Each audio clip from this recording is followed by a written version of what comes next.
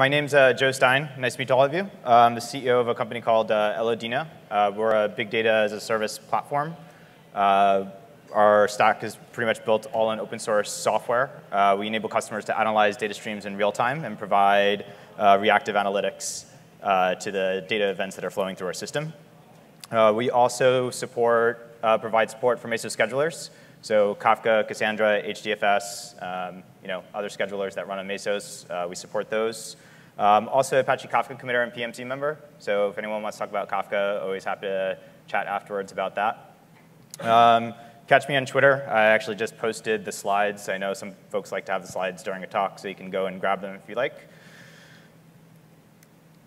All right, so uh, we're going to be talking about developing frameworks with Mesos today. Uh, we're going to quickly chat about like what goes on Mesos. Uh, we're then going to kind of start to dive in a little deeper, talking about frameworks, really explaining what a scheduler is, what an executor is, how they work together.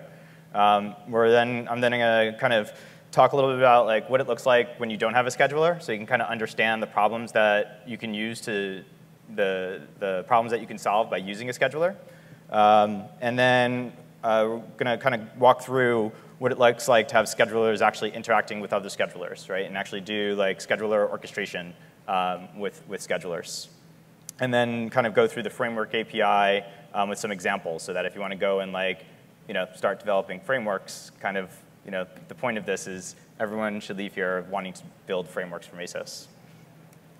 All right, so what goes on Mesos? All right, so I am a huge proponent of uh, everything should go on Mesos, right? If you're not using Mesos and you're still doing static partitioning, you might as well go back to like vacuum tubes and punch cards. Um, just my opinion.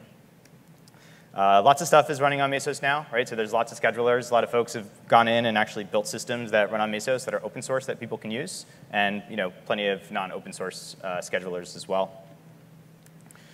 Um, and you can really run anything you want on Mesos, right? Uh, there are schedulers like Marathon and Aurora uh, that are specifically built to do nothing but take your application without having to worry about anything really Mesos related and launch and run it on the Mesos cluster. Cool, so uh, let's talk about frameworks. So a framework is basically a scheduler, right, and an executor. And the scheduler has a driver, right, that allows it to talk to Mesos. And the scheduler is basically responsible for uh, launching applications, killing applications, communicating with the executor, running the actual tasks that are running on the Mesos slave.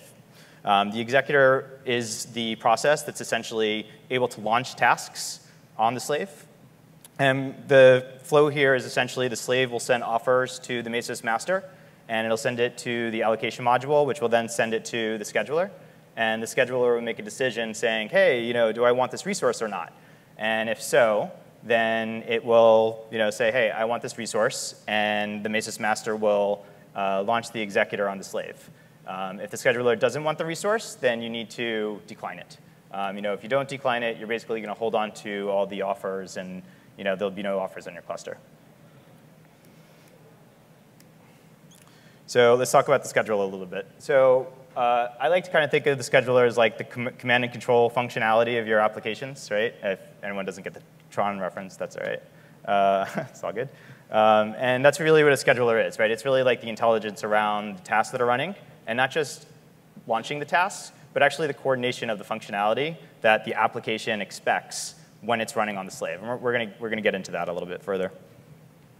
Um, the executors, for all intents and purposes, are like, you know, kind of stupid. Like, they have some purpose and point, right? Um, but there's not uh, always a lot of functionality that um, you're building inside the executor. I mean, there is functionality, of course, um, but really the scheduler is the single point of control for operating all of the tasks that are running for your application. So this is kind of what the uh, Kafka scheduler looks like. Um, I, I, I, don't know if uh, folks are familiar with Kafka. If not, um, we can talk after or something, but um, it's uh, really, for me, the best way to kind of explain how schedulers work, essentially. So here we have uh, the Mesos master in the middle, right? We've got the Mesos slave and the Kafka Mesos executor. And the Kafka Mesos executor is responsible for running the broker. And we've got the Kafka Mesos scheduler, right, which is responsible for actually launching brokers, managing them, um, which we'll talk about in a little bit. And the scheduler also has a uh, CLI and REST HTTP endpoint, um, which is, in my opinion, very important to build when you're building a scheduler. Right? Schedulers are intelligent, but it doesn't mean that you know, there isn't some human operator that needs to be able to go and do something, or some other system that also wants to you know, decide how to orchestrate uh, the task. Um, you can build autoscaling into the scheduler, or you can build autoscaling outside of the scheduler and use the REST API to be able to you know, perform the actions that you're expecting uh, for your applications. And you know, when the brokers run on the Mesos slave, everything at that point uh, is just how it is, right? There's really no difference from how you use the application uh, at that point in time. Um, so let's kind of talk a little bit about you know, the scheduler for Kafka and kind of you know, where and why it's like fundamentally useful. I mean, you can take Kafka and run it on Marathon, and it works great. There's obviously some uh, effort that you need to put in for things like uh, the broker ID assignment.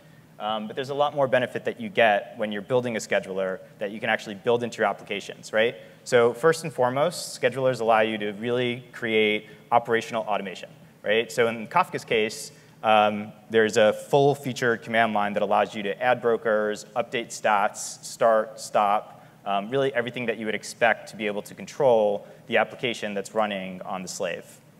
Uh, there's, as I said, there's a REST API and a CLI. So usually whenever we build a scheduler, we build the REST API, and then we build a CLI that completely wraps the REST API so that you know, humans have a nice way to be able to operate it, but also giving programmatic access for uh, other applications. Um, Schedulers usually run on Marathon um, for high availability, right? So when you have a scheduler, there's really one of them. And uh, you know, if it goes down, you can't schedule any more tasks. So uh, you know, you kind of want to throw that on Marathon for um, high availability. And then it also handles for things like uh, broker stickiness, right? So Kafka is a persistent server. So you need to make sure that if you've got you know, 20 terabytes of data on one of your machines and the machine rebooted, there's really no reason to go and reschedule the broker on some other machine, right? So there's intelligence that uh, you want to kind of build into the application.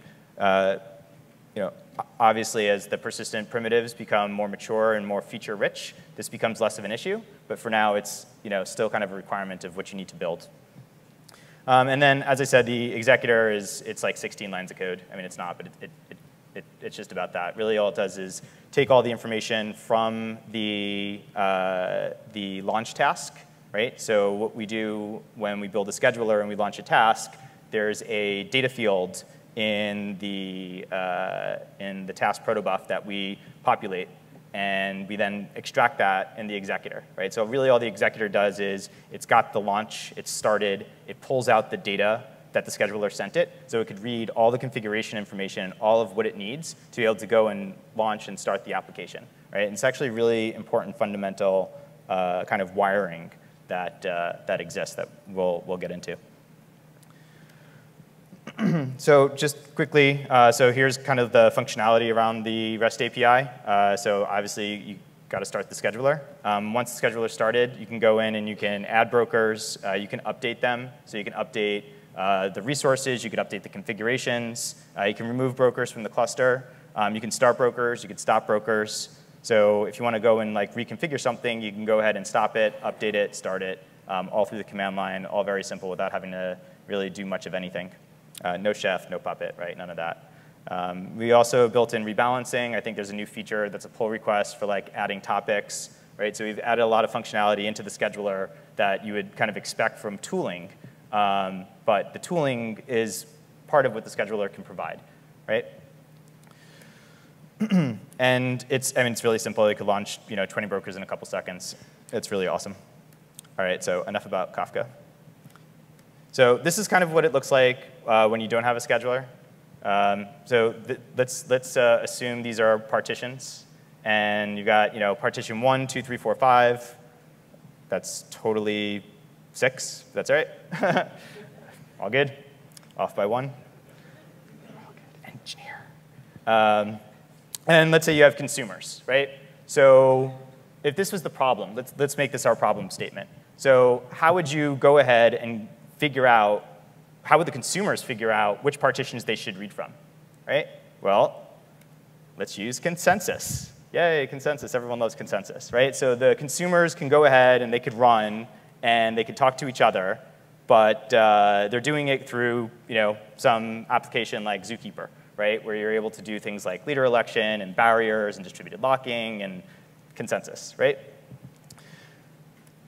All right, cool. So the consumers, they get you know, their, uh, their ducks in a row. They figure out who's going to be reading from what partition, and all the consumers are happy. You know, they've, they've split up their work accordingly, and all is well.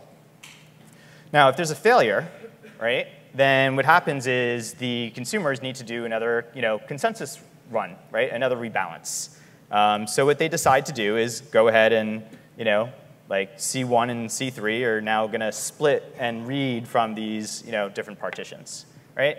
So this is actually not so bad, right? This is, this is what we have today without schedulers. It's actually you know, not, not, not terrible.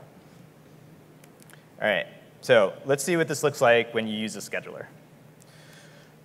All right, so same problem, uh, same off by one partition numbering. Um, but here, now that we have a scheduler, uh, we really can solve the consensus problem by removing having to ever do consensus. So with the scheduler, right, instead of having multiple applications sitting out there trying to figure out how to coordinate with each other, the scheduler is a single thread, if you could think of it that way, right? It's a process, it's a single process. It's able to control uh, and dictate all of what should be happening for the applications that it's launching. So in the scheduler world, what the scheduler can do is it can go ahead and launch the three different consumers. And when the scheduler launches the three different consumers, the scheduler knows all the statuses of what's happening, and the scheduler can pass the information to the uh, consumers that have launched in the executor, saying, you know, here are the partitions that you should be reading from, right? This becomes very powerful because when there's a failure, right, that's all right, no big deal, right? Mesos will just like reschedule the task for us. I mean, obviously the scheduler does that, right? So the scheduler will go ahead and just reschedule the task. You don't have to worry about things like rebalancing, coordination, and this is a really powerful, fundamental uh, uh, benefit for building a scheduler, right? Mesos really is a platform for building distributed systems. And when you're building a distributed system like this, it's so much better to have a single, uh, a single control to be able to coordinate and orchestrate all of the applications, all of what's happening within your software that's actually running, not having to worry about things like consensus. all right, so let's talk a little bit about uh, schedulers working together.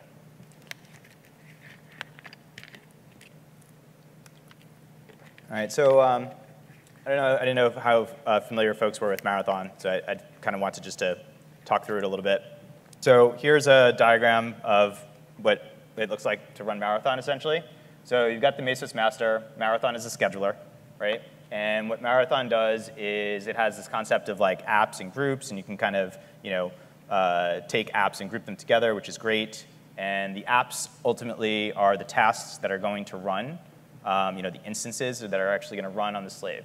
Um, now, the Marathon doesn't actually have an executor. It uses the command executor uh, from Mesos. So really all it's doing is just a, you know, like a su-c, right? It's just launching uh, whatever you're passing to it. And when that happens, um, you kind of get into the situation where you have to deal with things like artifacts and configurations and service discovery and uh, a whole bunch of other stuff that you have to start actually baking in and building into your software, right? So when you're deploying applications on Marathon, there's a lot more work that goes into uh, you know, actually making the system work. So you know, in, in come schedulers, right? Um, instead, what you could do is build a scheduler that uh, can run on Marathon.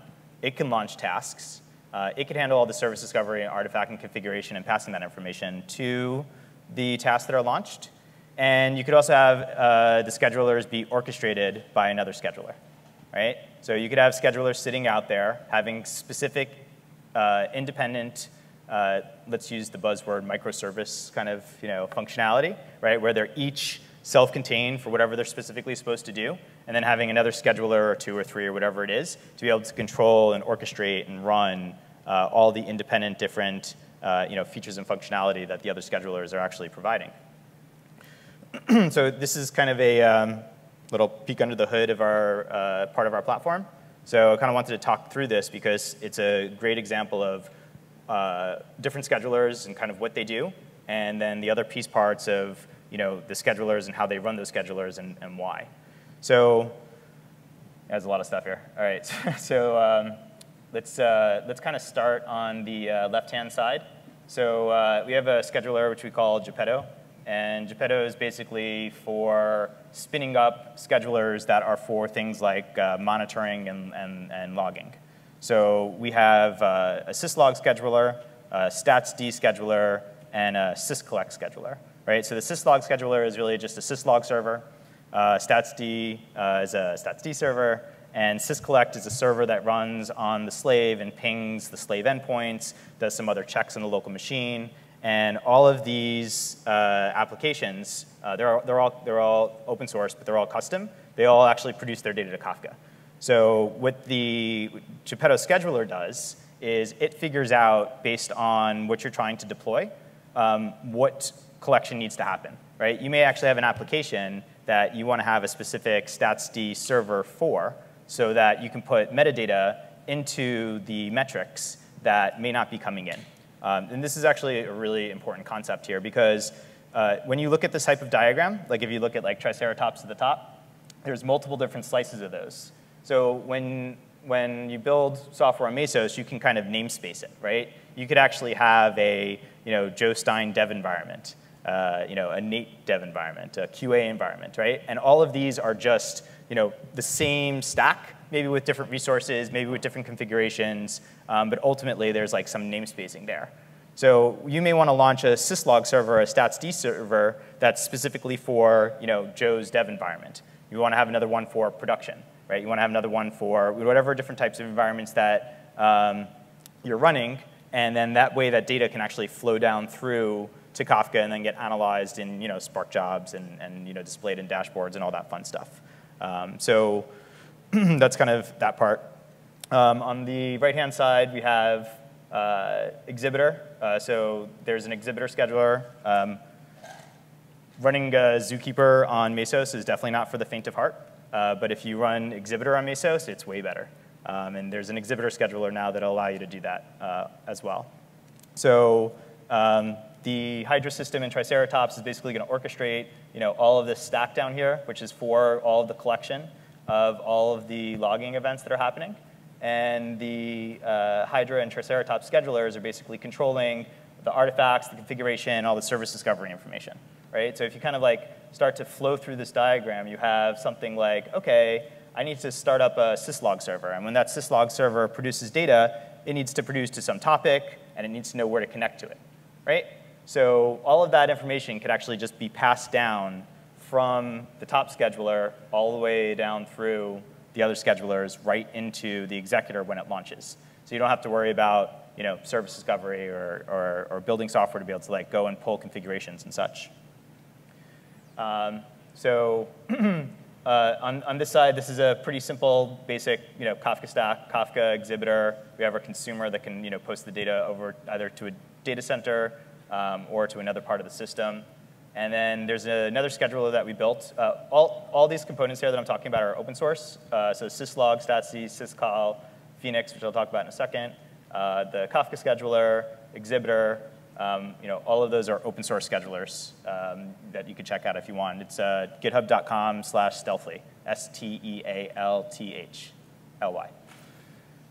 Um, so uh, Phoenix is uh, a scheduler for actually backing up Kafka data. So it'll actually, it uses Secor, which is Pinterest's uh, kind of like Kafka backup system. Um, and it'll actually back up a Kafka cluster to uh, S3 as, as, it's running, right? So you kind of have the system where you want to be able to do, uh, you know, log collection and metric collection, you need to have all these Kafka brokers.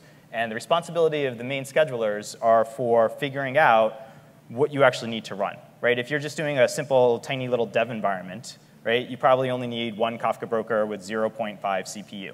So the, the configurations for that could all be managed within the top scheduler and then you know, trickle down through the rest of the schedulers so they basically know, you know how to stamp themselves up, right? These, this is a stack. So the stack has to know how to run itself.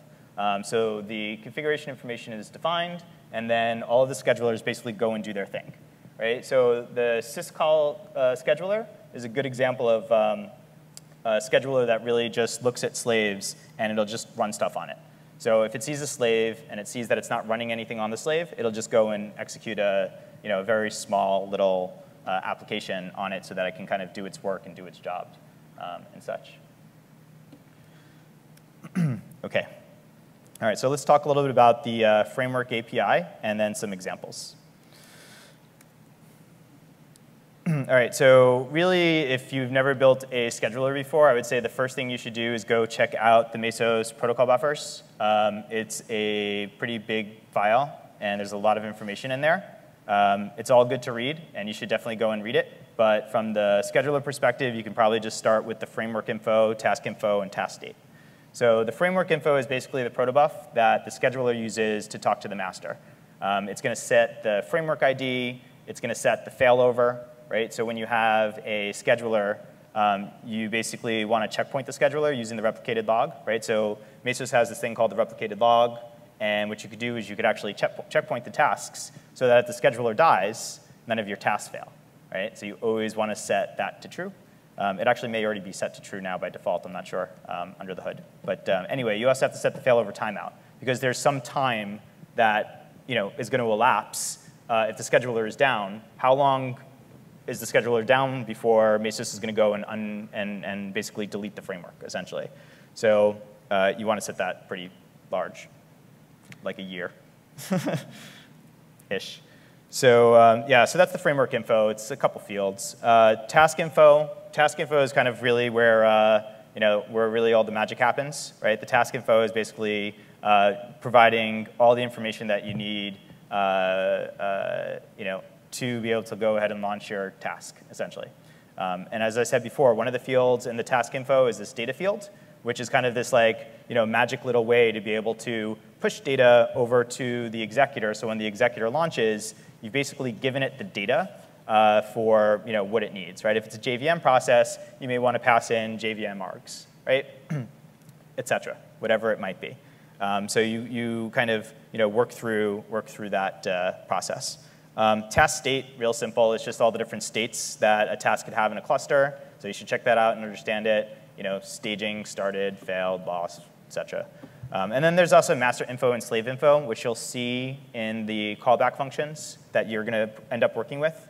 Um, not a lot there. It's pretty, you know, just slave info, master info. It's not, not a lot, but you should still, you know, check it out and understand it. Um, it's going to be one of the objects uh, that you're going to have to work with in your functions. All right, so there's a pretty good development guide. Um, I'm going to talk through it a little bit as well, um, but you know, definitely the documentation is great, so uh, check it out. Uh, so the scheduler API uh, kind of broke it up into a few different parts here. So there's uh, registered, re-registered, and disconnected right? So these are all callbacks.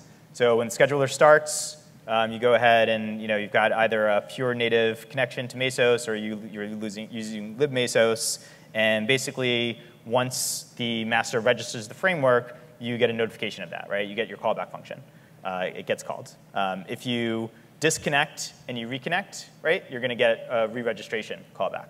Um, if you know disconnected, et cetera, you know, pretty pretty obvious. Um, so, and then there's resource offers, right? So resource offers is just like it sounds, right? These are the offers that Mesos is actually sending to you.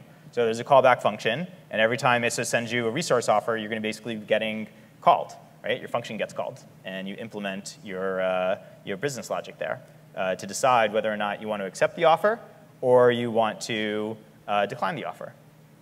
Uh, there's also offer rescinded, so you know Mesos could actually send back and say that you know this offer has been rescinded.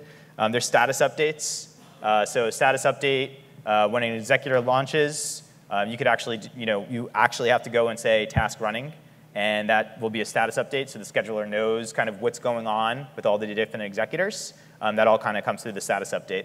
And then there's framework message. Uh, I've honestly never really used and implemented the framework message. There's like a big like disclaimer, you know, this may not be reliable, blah, blah, blah. So, you know, it's probably good if you want to use framework message for like little piece parts of information, but I have just generally gone with the approach of just open a socket. And if you need the executors to talk to the scheduler, just have a socket connection so that the scheduler could just have, you know, all the communication to all the executors, uh, you know, all, all to yourself. And then, of course, slave lost, executor lost um, and then any errors and such, right? These are all callback functions.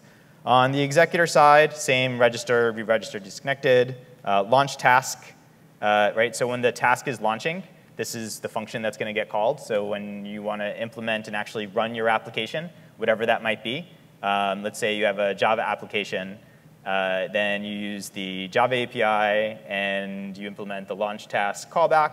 And once the task launches, you can go ahead and do whatever you want to do, right? Just whatever it might be. Uh, same thing with the kill task. So like if your task is getting killed, you get the message. Um, and then same you know, framework message as well for, for the other direction.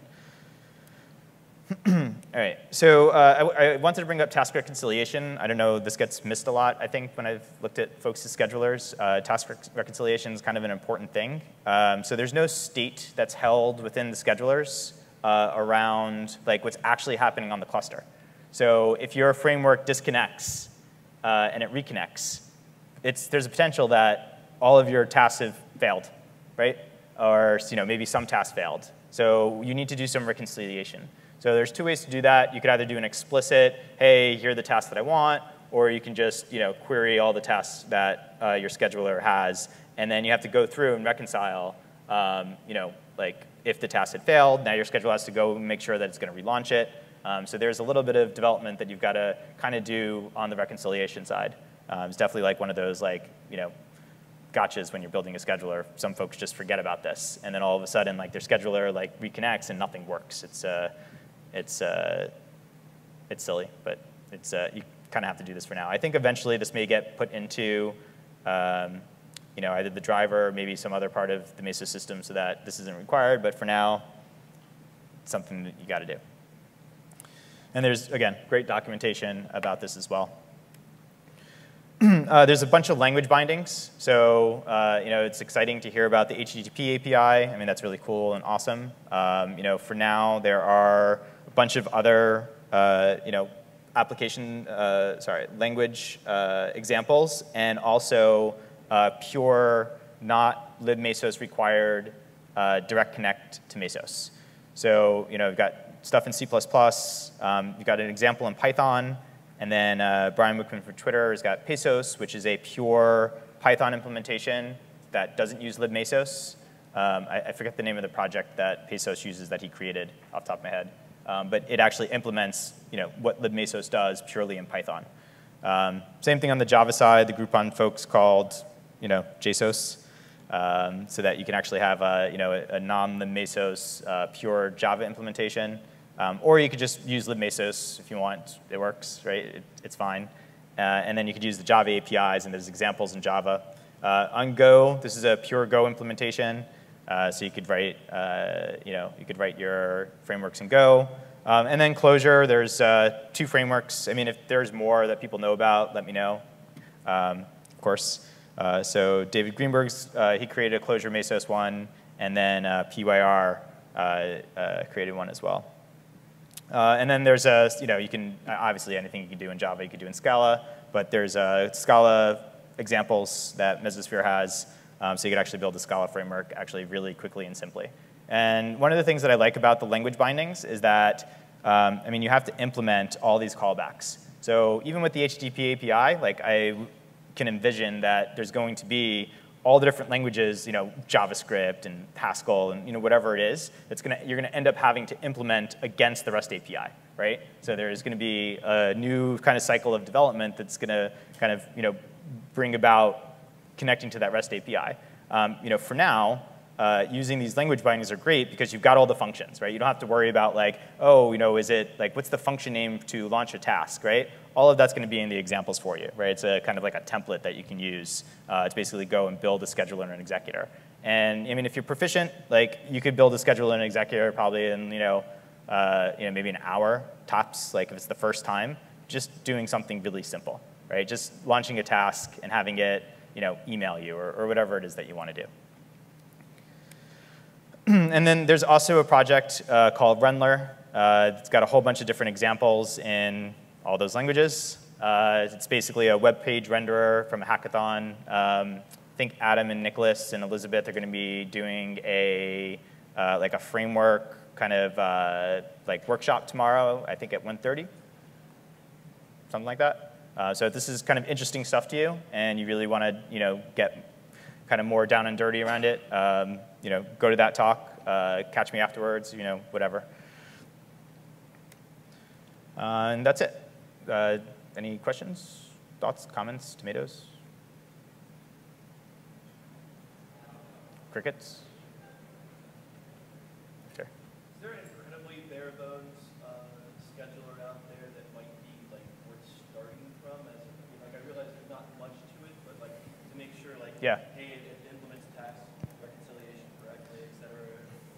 Yeah, so not the task reconciliation part, but all of these examples uh, have that, basically. So they're all, all these examples, like the Python one, the C++ one, the Java one, they're all, you could, you could literally just compile them and just run them, and they'll just work. Um, you can start from there. As far as the reconciliation part, I'd say go check out the Kafka scheduler. There's not, it's maybe six lines of code to do the reconciliation, if that. Um, so, uh, or the Cassandra one, right? There's, uh, you know, looking marathon as well. Um, yeah. Another question? Yep. Hey, what's happening? Hey.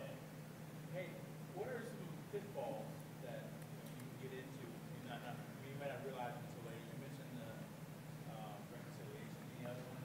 Yeah, so um, not hogging resources, right? So when you get an offer, uh, you want to make sure that you're always going to decline it if you're not going to use it, right? Because if you don't, you'll hold on to it, and then there'll be no resources like offered to any other schedulers, right? So that's an important thing. Is like you know every scheduler is getting these offers. If you're holding on to it, you know you've got to you got to say declined, right? So those are th those are those are important. And I'd say um, you know being able to build out uh, something that allows you to interact with it is also important too, right? So you build a scheduler and now all of a sudden it's running and you have some problem and you can't actually do anything about it because you've tried to put all the intelligence into the software and no human operator can go and do something, right? So you should always like allow for the executors to have some control from some human being if need be at some point in time, whether it's starting or stopping or, or whatever it might be.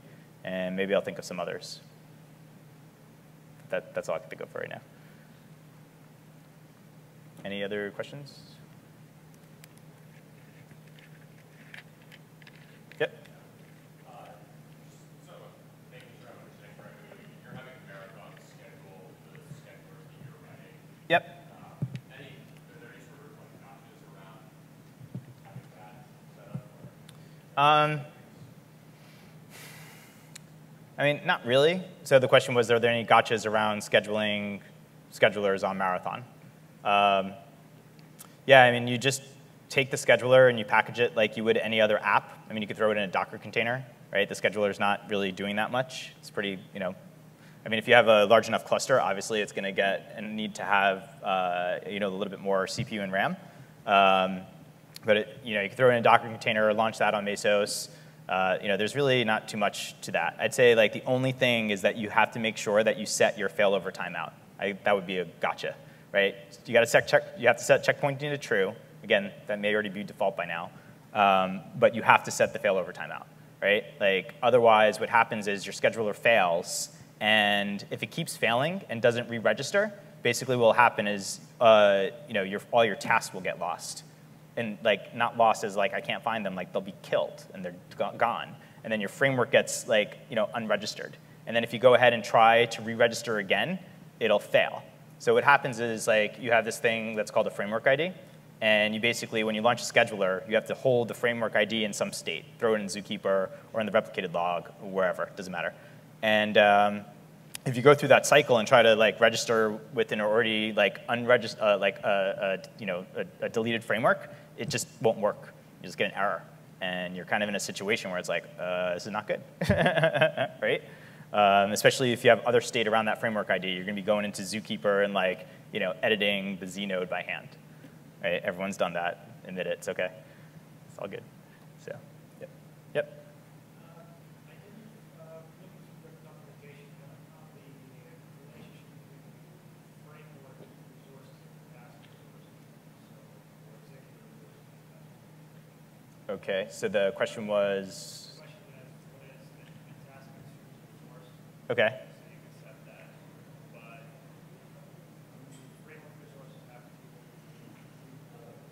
Okay, so yeah, so the question is there like is there framework resources and how does that relate to task resources, right? So everything is task resources. There's no framework resource. So when the scheduler runs, it's actually a task, right? So it's a task for the marathon scheduler.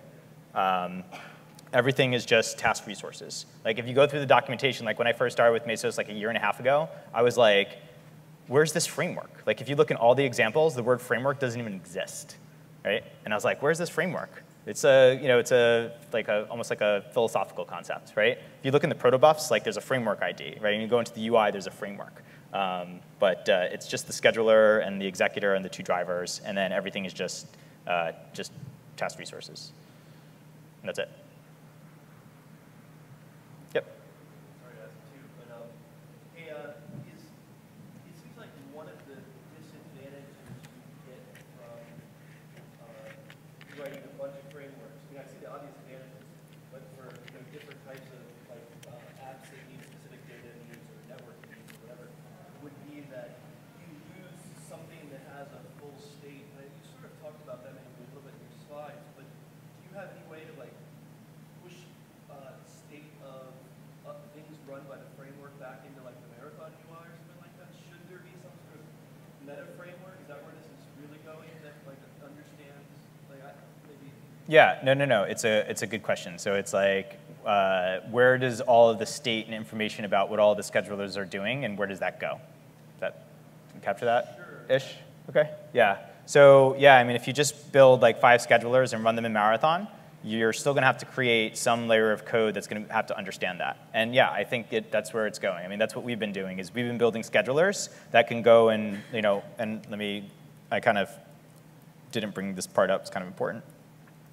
Yeah, so the orchestration scheduler, right? Like one of the, you know, the micro schedulers, uh, like they have a REST API, right? So if you want to be able to do things like auto scaling, right? It's like, hey, it's, you know, 2 a.m., I don't need all these brokers running because I want to free up resources or whatever, then the orchestration scheduler can handle that concept of things like auto scaling, right? It can look at your environment and understand all the different piece parts that actually need to change, and then it can go and ping on the REST API to do whatever it needs to do, right? Lower resources, increase resources, stop applications, start them, and then, yeah, I mean, that, that becomes in and of itself, you know, it, it may not be scheduling resources per se, but it is, you know, fundamentally like doing orchestration and scheduling, right? Like we, we, we do often when like, I think maybe we have one scheduler that doesn't, you know, actually uh, create tasks, uh, but for the most part, you know, they're, they're gonna do that, right? And it's also responsible for launching on Marathon, right? So actually talking to Marathon, launching the applications in Marathon, right? Yeah, it's a, like a, it's a software application that, you know, should be doing that. And if it's not a scheduler, right? If it's not some like process that's running all the time, what you're going to end up doing is basically building a whole, you know, like stack of scripts for deploying, updating, configuring, and, and that, that a human has to then go and, you know, work on. Or, I mean, you could script that, right? I mean, you could always automate, but it's still just a static. Yeah. From your experience, do you think that's the sort of thing that, I mean, like, in your, you know, your work, is your orchestration scheduler something that really should be extracted into an open source, uh, generic tool? Maybe it, is it per app? I mean, do you have one orchestration? Yeah, you know, it's one of those hard things because it's like, it's always so, you know, uh, you know, I get to see a lot of different implementations, and you know, there's always that fine line of like, everyone does service discovery different. Everyone does configuration different. And the thing is, is that unless you're a brain spanking new startup, you already have, you know, a configuration system. You've already got service discovery. You already have existing systems, right? So it, you know, yeah, maybe there's a way to make it generic um, at some point. I don't know if like we're at the point where we can really see and understand that. But yeah, I mean that would be fantastic to have you know some some you know better way to do that. I saw that um, you know Netflix has actually started doing that. They open source today like some libraries and stuff. I got to check more check more out about it. Um, uh, but yeah, I mean I think that's kind of where it's going, right? Yep. Uh, any other questions? Yep. With um, executors, do you need to get it on the box in some way, somehow? Yeah. so that's actually a, that's a good point that uh, I guess I didn't really bring up at all. So um, you need to have some location where the uh, tarball for the executor is actually going to sit, and any other information, anything else that you need to also download. So in Mesos, you have like a URI, right?